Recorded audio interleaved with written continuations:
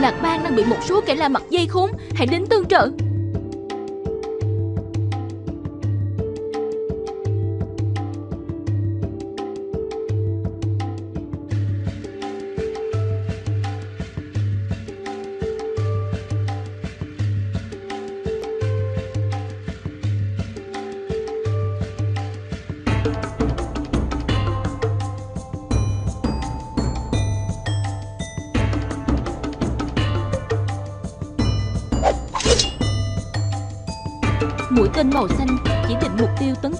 Tử trong đội hình.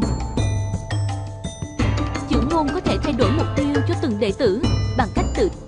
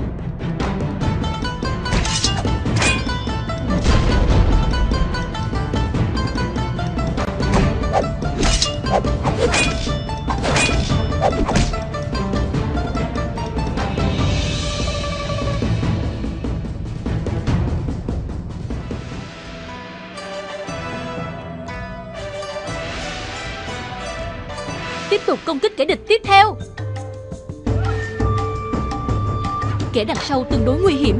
Trọng điểm tiêu diệt hắn trước.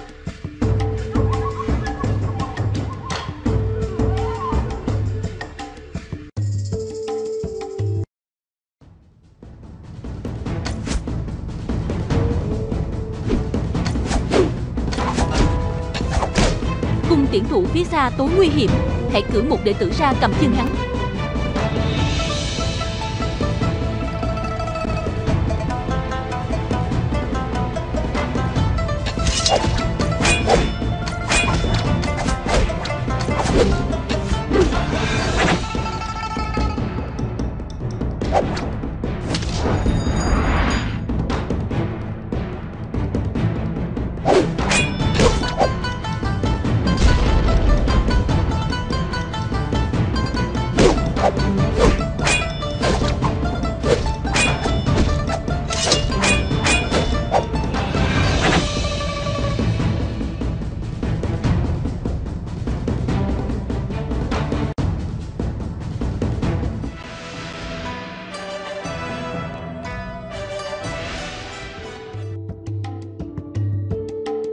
Địch nhân thật cường đại.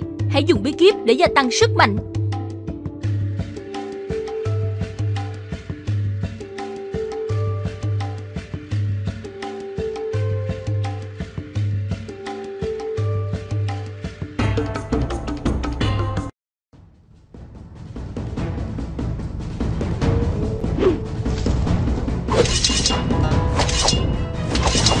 Sử dụng khốc tan bổng phát để tiêu diệt chúng.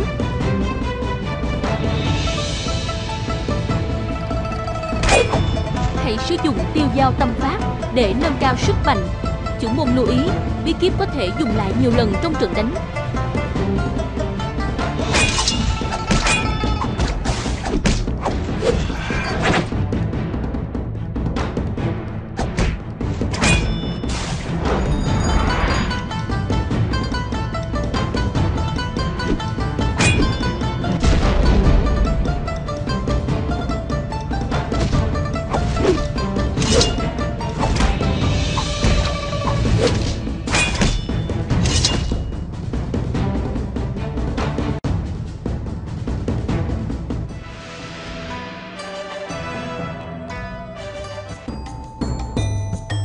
Tung đệ tử vào trận hình.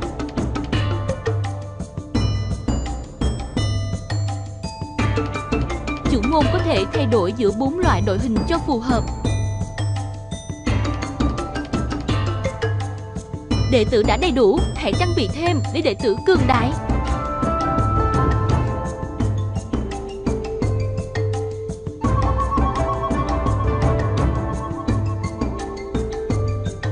Có thể tự động trang bị các bộ đồ.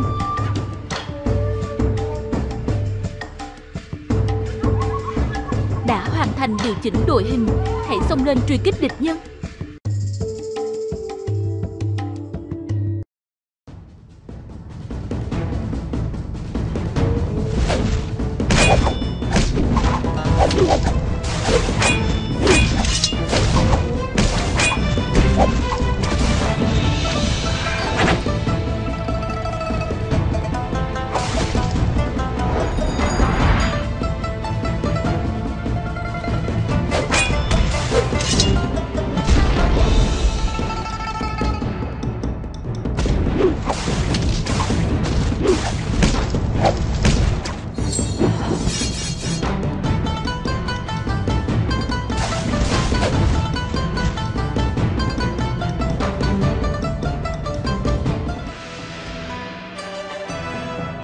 Khi trưởng môn rời đi, các đệ tử vẫn tiếp tục hành tẩu giang hồ và mang lại tài nguyên. Hãy xem các đệ tử đã mang về những gì.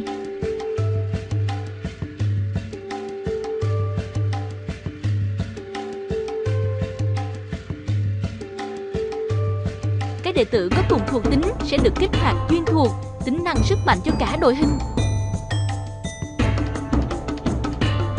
Trưởng môn, hãy bổ sung đệ tử để kích hoạt thêm duyên thuộc tính nào. Duyên hiệp khách chỉ cần thêm một đệ tử nữa sẽ được kích hoạt.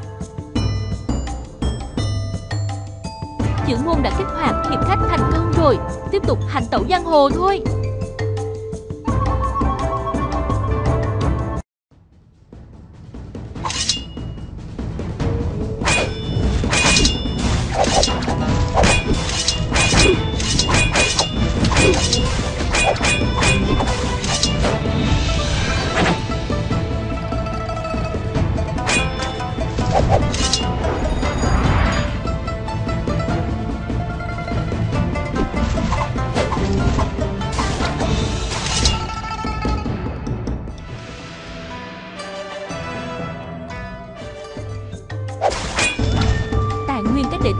Về có thể dùng để nâng cấp và gia tăng sức mạnh.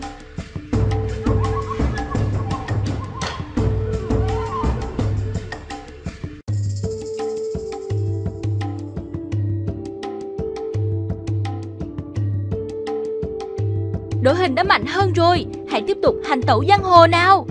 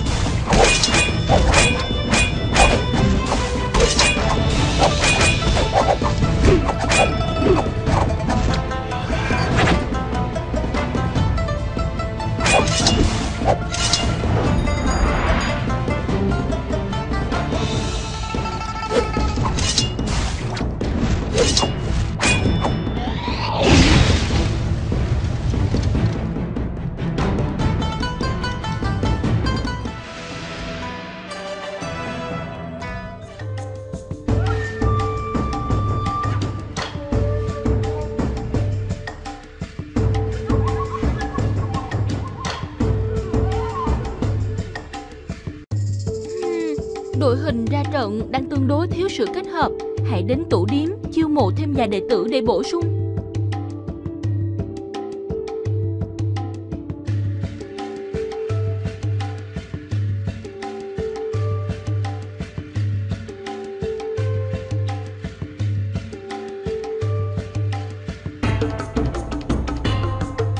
Trong lần đầu chiêu mộ nhân 10, chữ môn được chọn lại không giới hạn, ưu đãi một lần duy nhất.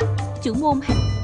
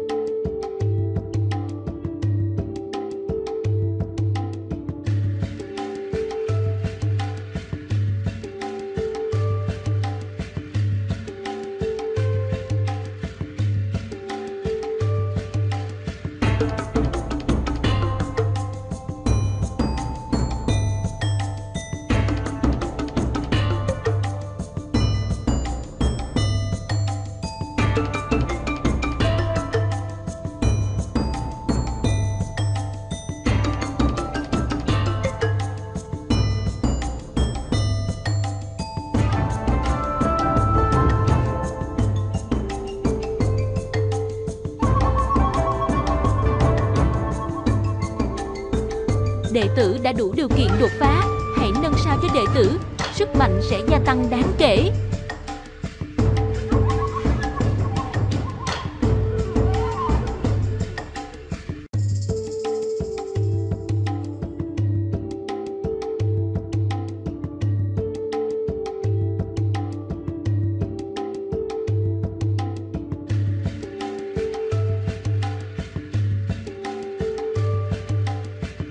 Đại ca cầm đầu, Ngươi lại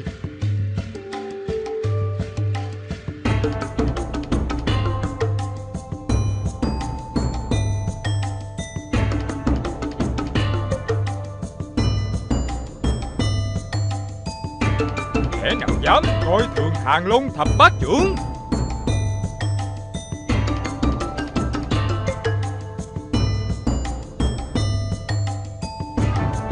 Tích ta kiếp khổ là của ta Không kẻ nào được cướp lấy.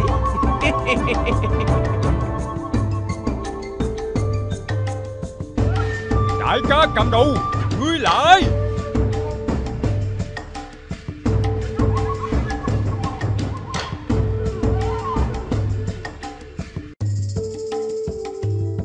Ta phải trở thành minh chủ của ngũ nhạc kiếm phái